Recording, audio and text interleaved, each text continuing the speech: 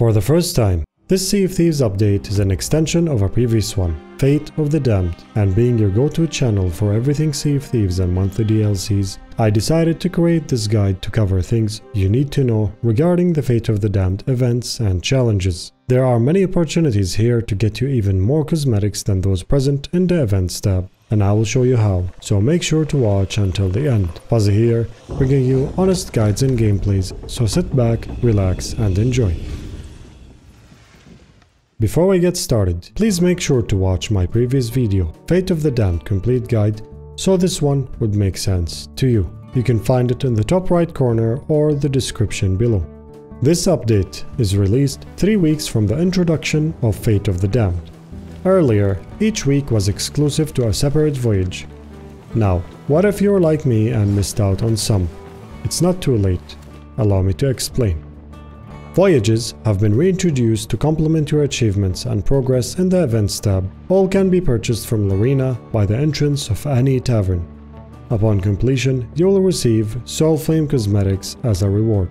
But you only have until December 9th before the time is up.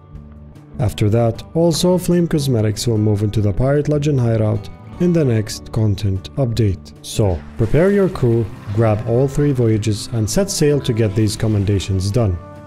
If you finish 3 in a row, you will have all lights to activate Fort of the Damned, including the ritual skull that drops from Graymarrow upon defeating him.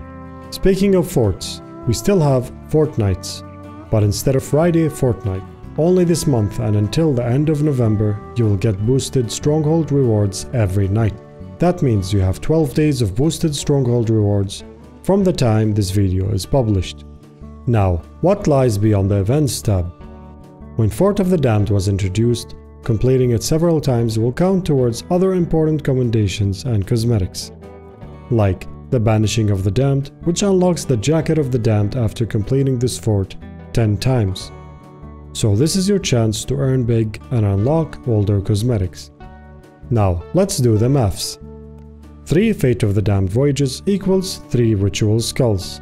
That's 3 Fort of the Damned. This means you might be looking for a tough crew to venture with.